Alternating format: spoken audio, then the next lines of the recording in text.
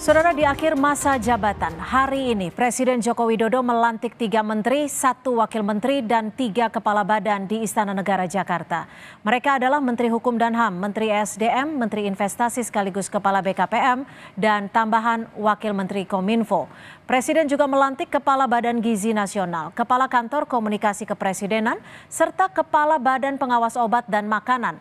Pihak istana menyebut Presiden Jokowi mengangkat menteri, wakil menteri, dan kepala badan diperlukan untuk mempersiapkan dan mendukung transisi pemerintahan agar berjalan dengan baik, lancar, dan efektif. Apa urgensinya perombakan kabinet Jokowi jelang dua bulan berakhir masa tugasnya? Kita bahas bersama pengamat Direktur Carta Politika Yunarto Wijaya dan juga staf khusus Presiden Grace Natali. Selamat sore Mas Toto, Mbak Grace terima kasih sudah bergabung bersama kami di Kompas Petang. Sore Cynthia, sore Grace. Mbak Grace ini dua bulan jelang masa purna tugas Presiden Joko Widodo. Ada menteri yang reshuffle. Urgensinya apa dan dua bulan tuh bisa apa Mbak Grace? Ya, yang pertama landasan hukumnya dulu ya, bahwa berdasarkan pasal 17 ayat 2 Undang-Undang Dasar 1945 adalah merupakan hak prerogatif Presiden untuk memberhentikan dan juga mengangkat menteri-menterinya.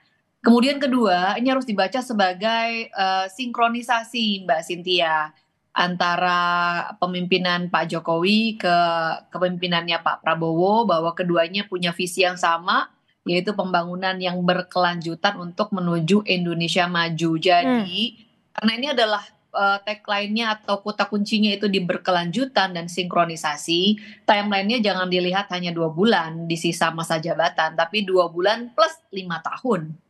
Begitu. Artinya menteri-menteri yang diubah ini akan masuk ke kabinet yang baru nantinya? Apakah personilnya akan masuk ke kabinet yang baru? Kita harus tunggu 20 Oktober. Kita harus tunggu karena ini adalah prerogatifnya Presiden terpilih Bapak Prabowo. Tetapi programnya atau kerjanya, sinkronisasinya sudah dimulai dari sekarang.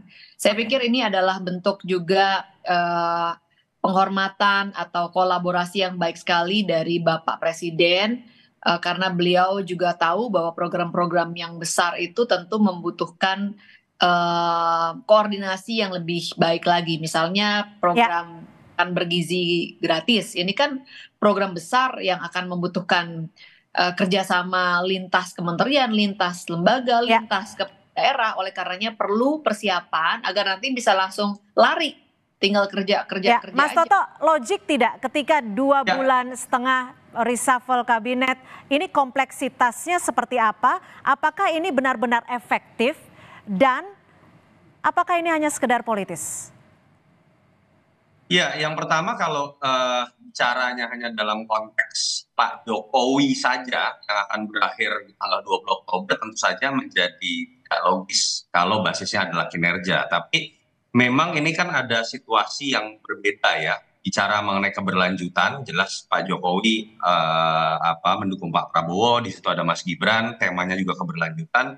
Menurut saya paling tidak kalau bicara di beberapa uh, pos yang tadi diangkat uh, masuk akal. Dalam konteks misalnya paling tidak ketika memilih uh, kepala badan pangan nasional membentuk badan gizi nasional lalu kemudian kepala kantor komunikasi presiden itu kan terkait dengan uh, gizi dan pangan ini kan program prioritasnya uh, Prabowo Gibran dengan segala kontroversinya. Kita tahu tidak mudah dengan keterbatasan anggaran pertanyaan dari publik. Sehingga menjadi masuk akal menurut saya ketika ingin ngebut nanti mungkin akan ada kementerian khusus pangan juga.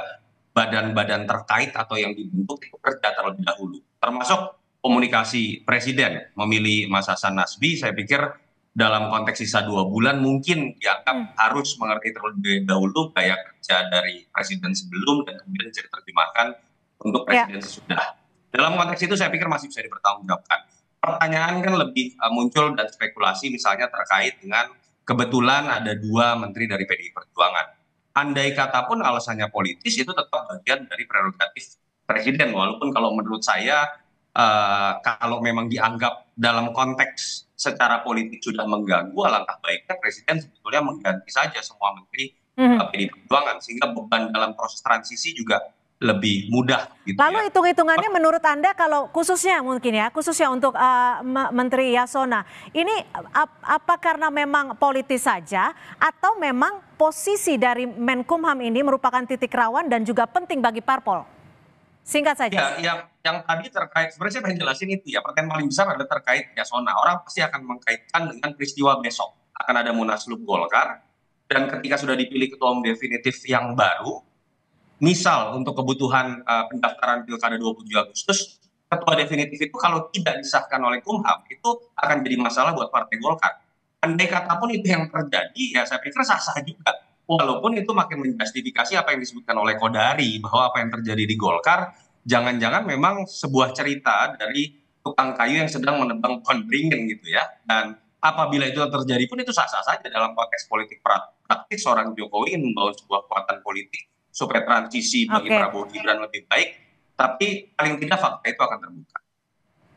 Ya, uh, Mbak Grace, gimana kalau uh, Anda me meramunya nih bagaimana sih sebenarnya ketika merisafel kabinet? Apakah memang faktor-faktor dari menteri-menteri PDIP? Ya, nggak sampai ke situ.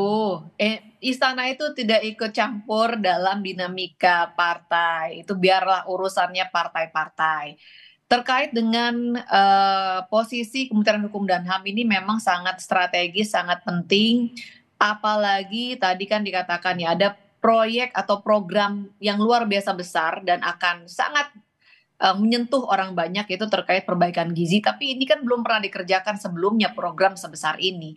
Oleh karenanya harus dipastikan bahwa regulasi yang dibutuhkan untuk menjadi landasan hukum bagi program baru ini, apalagi akan ada kerjasama lintas kementerian lembaga, kepala daerah, harus ada landasan hukum yang baik dan ini butuh uh, sinkronisasi sedini mungkin begitu.